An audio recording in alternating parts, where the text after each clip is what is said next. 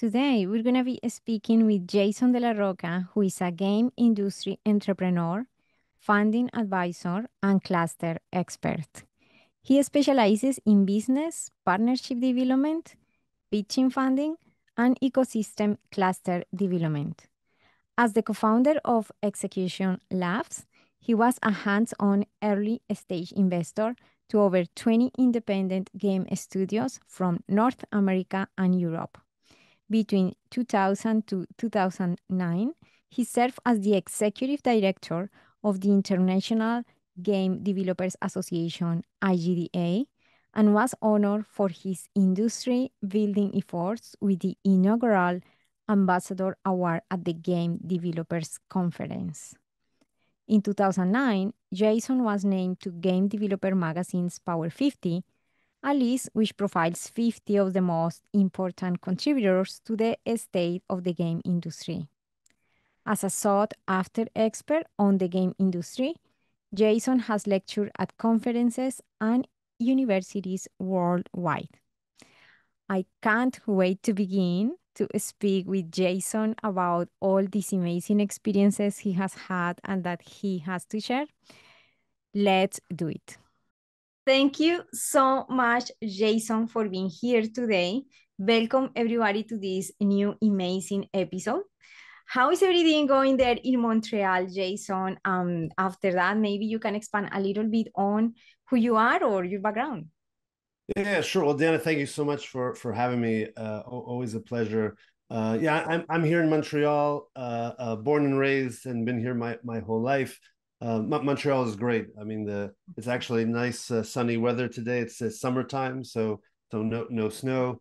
and Montreal is an awesome city, and importantly, is a great gaming city. There's so many amazing game studios and game developers here in Montreal, and so uh, uh, in part, that's why I've I've always stayed here in Montreal and, and lived and worked here in the game industry. Yes, that's amazing. I actually locally where I live, which is Winnipeg, I met a great creator, developer, designer, etc. The founder of a company. He started the company now. It's launching Oculus, but he decided to move to Montreal. Oh. he said there is a reason why I moved to Montreal, and now you're telling me that's interesting. I am actually planning a trip to Montreal. Whenever I go there, maybe I invite you for a coffee and maybe we do a little recording or something to share with you. Sure. Sure. Yeah. Yeah. Well, I, I mean, listen, M- Montreal is a it's a lovely city. Lots of nice cafes and amazing restaurant. I mean, we have the whole French influence that gives it a bit of a uh, of a of a European vibe. Uh, but interestingly, it is it is the main game development center and hub in Canada. Oh my so, so number one is Montreal, number two is Vancouver, number three is Toronto. Uh, in Montreal alone, there's about 300 game studios and mm-hmm. over 14,000 game professionals uh, wor- working in the city of Montreal. Uh, and, and, in fact, it is it is one of the largest hubs, uh, most successful hubs for game development in the world. Uh, is is right here in Montreal. That's super exciting to hear and so yeah like that's that's some data that maybe for some people in in uh, canada might be unknown. Sometimes students or people ask me where do you think that i could have you know be in a place where it either actually has many studios etc that's a good background to have. Thank you so much. Mm. i i understand of course you're a figure in the industry. Even your profile is in wikipedia. It's very exciting. And um, you have had so much experience. Mm. you even were part of the igda as per my understanding. And then after that you founded perimeter partners. So you were apparently giving some strategic guidance comp- to companies there. I wonder what main challenges maybe you had there mm. and that maybe, you know, gave you great insights for later on continue uh, guiding yes. their companies. Yeah, I mean, it's, it's, it's interesting in that um, the IGDA uh, or, or International Game Developers Association is a global organization, a, a nonprofit that many uh, game developers are members of all over the world. So if you're uh, even as, as a student or an aspiring game developer, but mostly professional game developers, it's their uh, professional organization, so they join, uh, and the IGDA represents game developers. It works on industry issues. It helps with you know uh, education and and uh, conferences, all, all, kinds of stuff. They have local chapters around the world. It's really there to support the careers of game developers around the world. And so I was very fortunate uh, that for almost nine years I was the executive director, so the the the, the director of, of the organization, uh, and that allowed me to work with game developers all over the world, uh, with stakeholders, you know, from from governments to schools to publishers and investors to the studios themselves, really all all corners of the globe. Um, and so it was a great opportunity to to meet and connect and to understand their challenges, you know why were some succeeding why were some not succeeding uh, um, you know all, all, kinds of fun and interesting uh, things. Um, it was a very challenging role. It was a very rewarding role. You can imagine trying to you know help developers careers and, and businesses all across the globe. Uh, you know it's a really really all encompassing you know I, I didn't sleep much let's uh, let, let's say for those uh, wow. nine nine years. Lots of travel you know lot, lots of uh, big big industry uh, issues uh, etc um, so when i started perimeter partners which was just a, my small you know consulting uh, mm-hmm. agency um, what i was initially doing was working with governments on on how they could better support their regional game industry and so what was happening was you know as the game industry grew as a business as more jobs were created, and these are sort of new economy jobs that are very appealing, well paying, uh, as game businesses were growing and generating revenue, and in many cases, it's export revenue. So you're bringing new money into the country or to a country. Uh, governments realized, oh wow, game business is a good business to have, you know, in, in our country.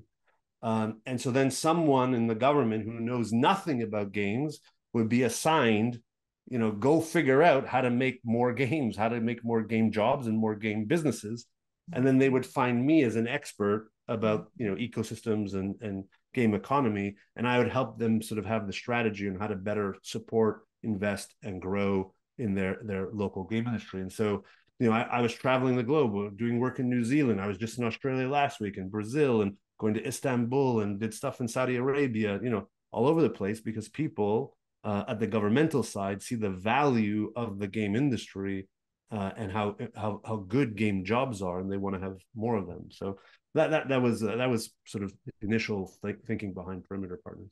Yeah, that's super exciting. Of course, a lot of insights gathered there. You also, it is my understanding, you also co-founded uh, Execution Labs, which is a hybrid incubator accelerator. Mm what trends have you observed in the, the in the in the environment of uh, gaming the gaming uh, space by you know through through the execution labs which is a little bit of a different yeah yeah. So so as you said execution labs was kind of a, a hybrid incubator accelerator. Uh, and we actually started that in 2012 uh, so over 10 years ago. At the time, it was the first venture backed or venture funded uh, program of that sort in the world. Uh, and we built that here in Montreal. Uh, and we were investing in studios in Canada, the US, and, and Europe. Um, and that, that was a wild adventure. It was my own first foray into investment, uh, you know, on, on the investment uh, or funding uh, side of things.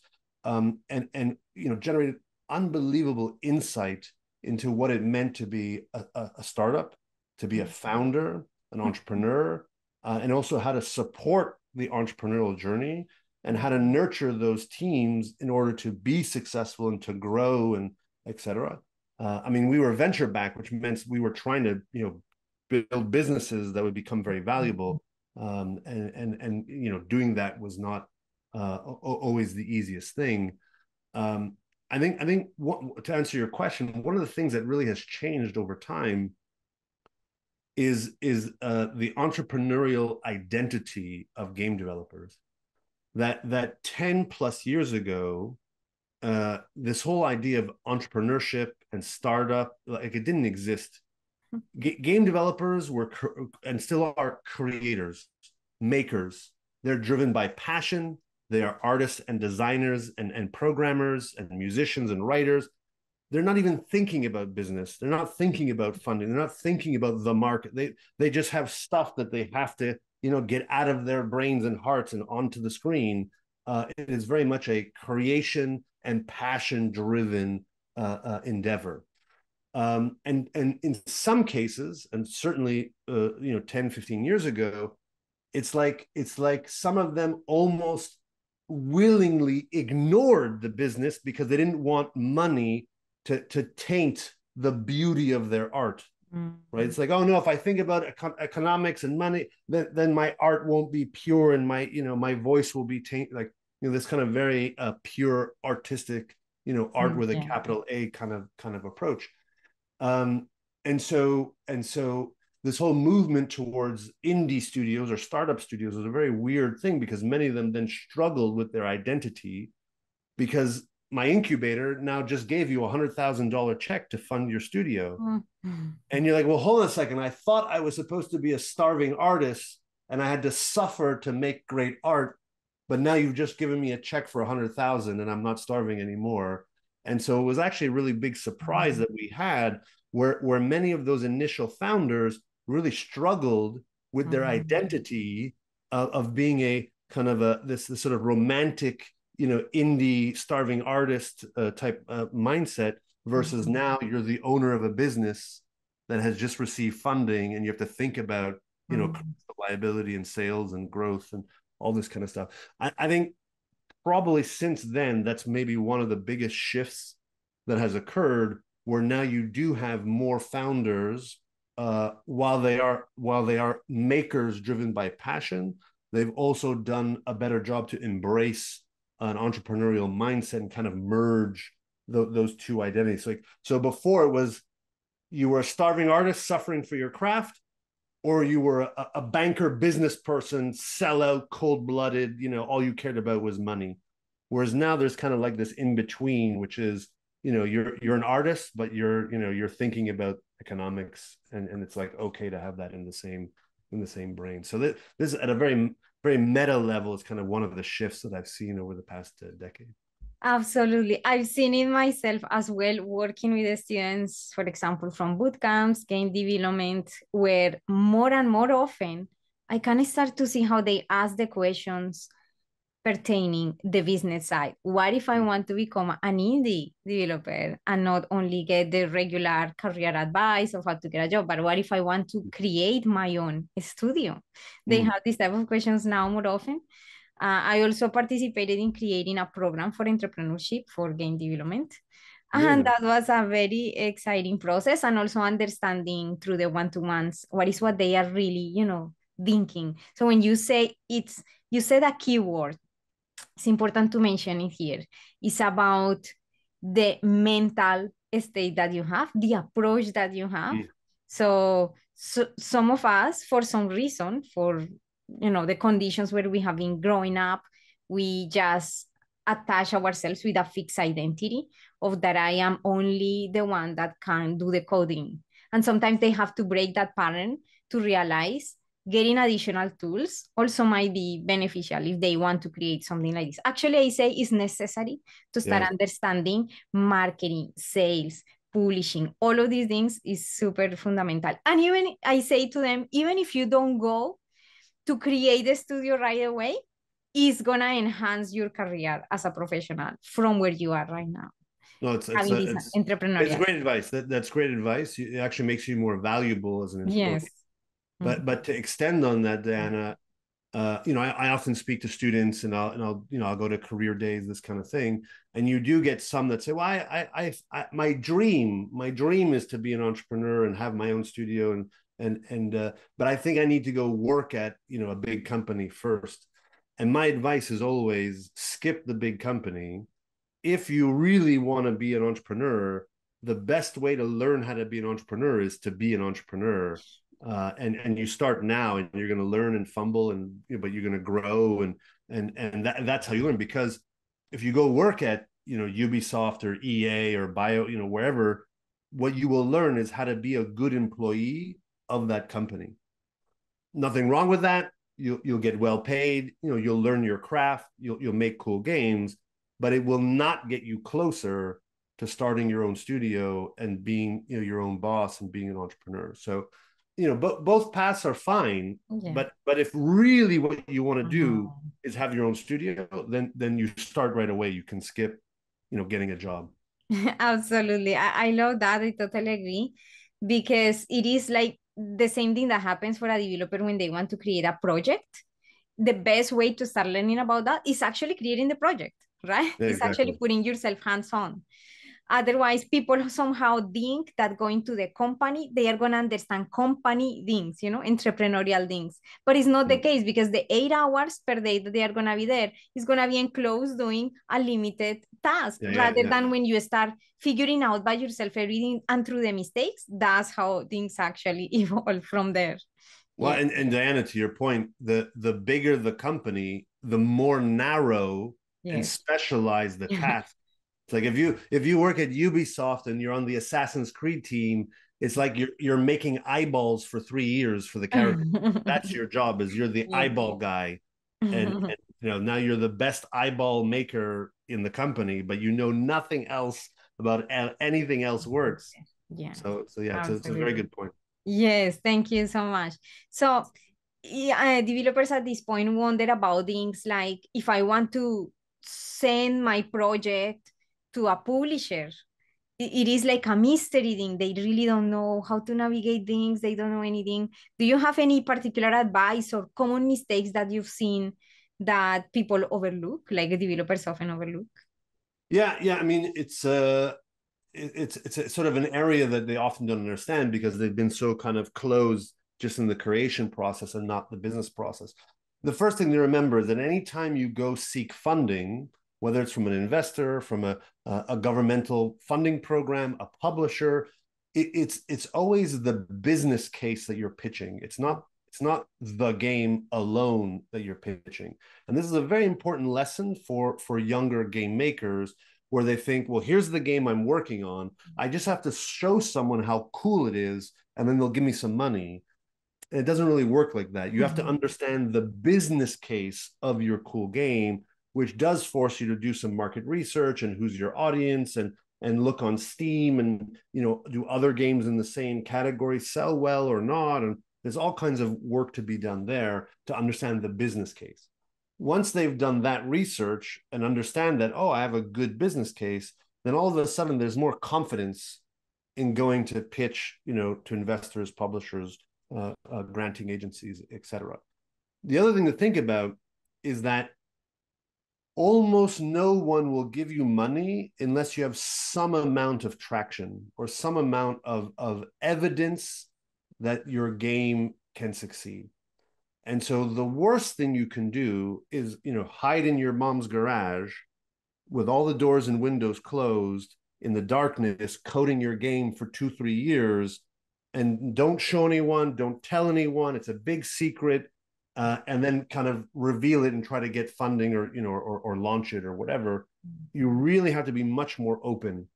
You have to you know post it online. You have to you have to you know make a demo and get players. You have to run play tests. You have to you know post screenshots and and gameplay videos on on twitter and instagram and reddit.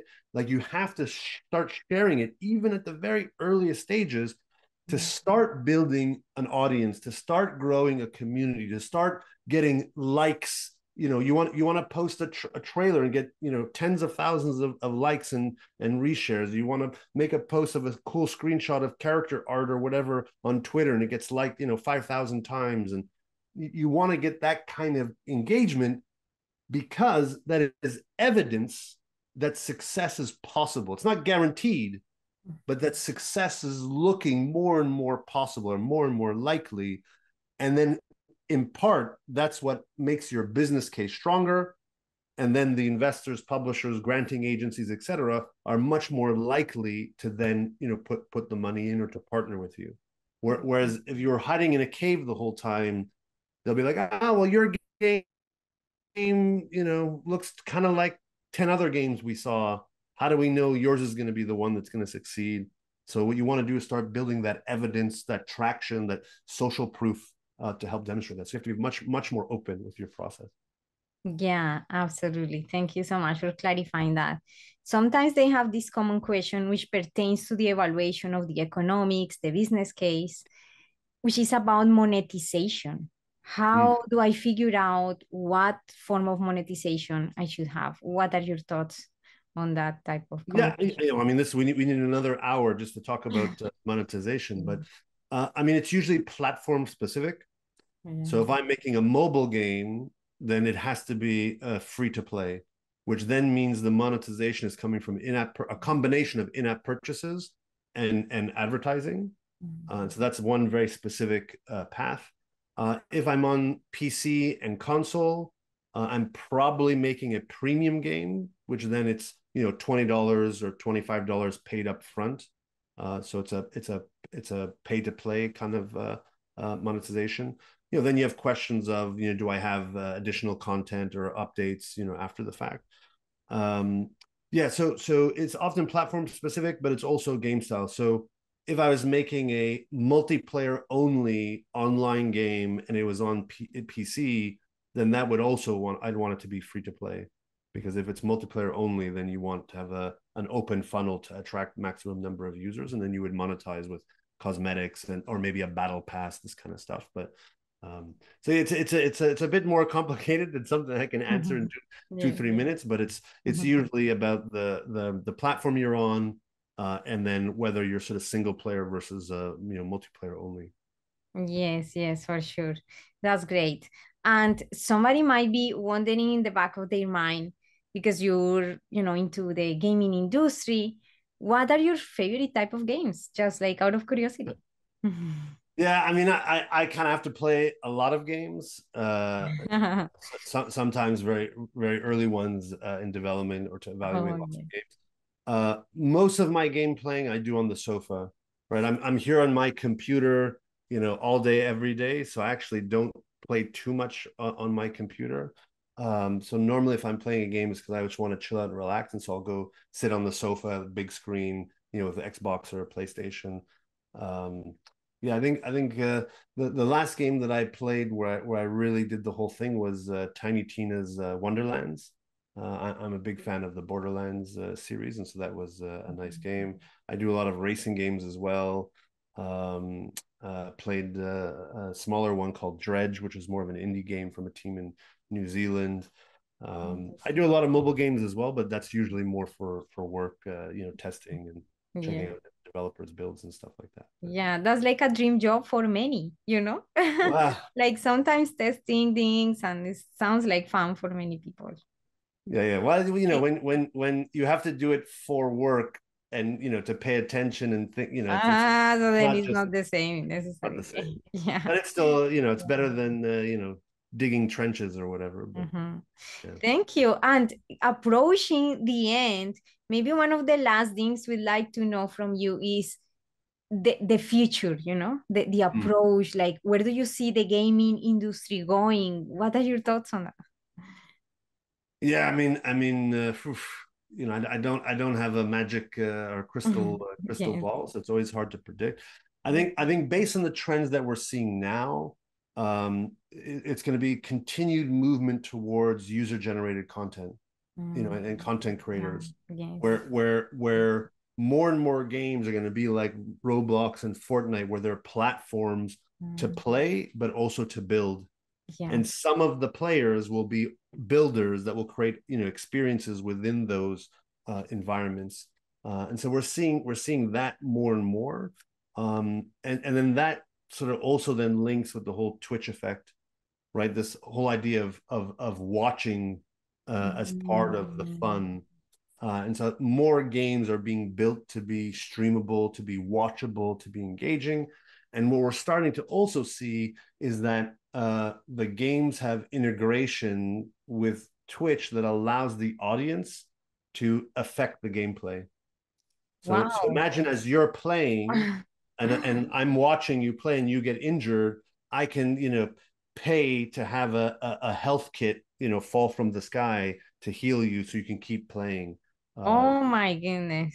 Yeah, yeah. So it's not you're not just watching, but like the fans can actually affect. Wow. Uh, yeah. So we're start we're starting to see this kind of uh, spectator spectator interaction, uh, which I think is going to be uh, it's. Eh.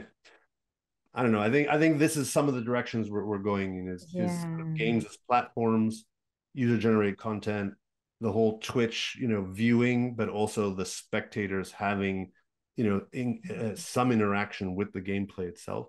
These are some of the things that I think. Uh, wow. Uh, see. And so then, and then obviously AI is going to be, but but AI AI is more about streamlining development. Yeah. Although I think we are going to see completely new kinds of gameplay that are driven by real time uh, generative AI that we haven't barely seen yet. So I think that's coming as well.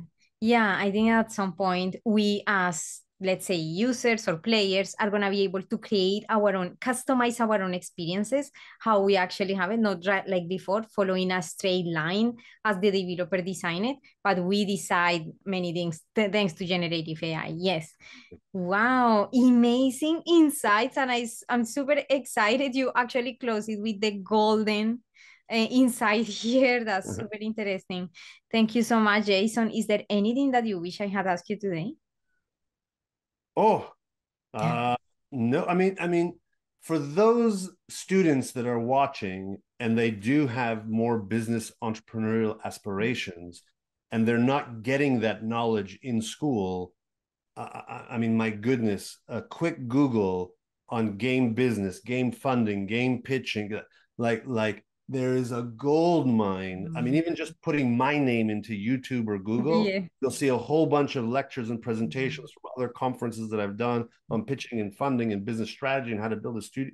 So even if you're not getting that direct knowledge within your academic uh, path, uh, uh, there's no excuse if that's your ambition and, and, and, and what you're aspiring to, you know, just Google it, find the resources, and, and there's a ton of knowledge uh, and people are very sharing and open. So so don't don't let that hold you back. Uh, you know, just just dig in. And as we said before, if you want to be an entrepreneur, the best way is to just be an entrepreneur uh, and and not wait for someone to give you permission. Mm-hmm. Amazing. Thank you so much. This conversation has been super, super exciting. This is the best advice uh, there. Uh, you can try to reach uh, to Jason or find more information about him online. Thank Perfect. you so much. Do you have any place where you like a website or something where you can invite people to check your stuff? I have a crappy website, but uh, mm-hmm. uh, j- just I'm easy to find on Google. Uh, okay. Sorry, on on LinkedIn or Twitter. You know, I have a fairly unique name, so I'm easy to mm. find. Okay, thank you so much. And thank if you, you like this episode, please consider uh, subscribing or sharing it to someone who really can get a lot of value out of this. Thank you so much and see you in the next episode. Bye for now.